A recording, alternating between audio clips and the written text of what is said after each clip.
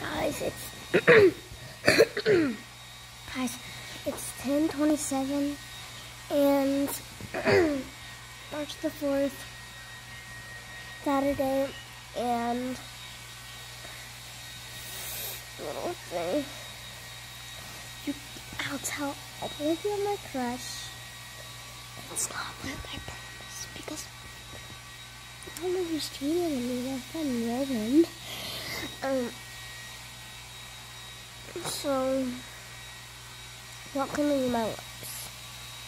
If you read your lips, and then you can tell them. Hold on, let me get practice. Yeah, you ready?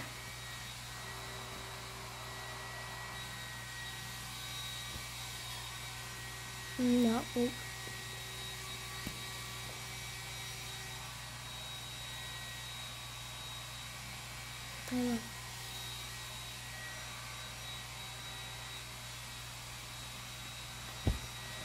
He has an O in his last. Okay, bye.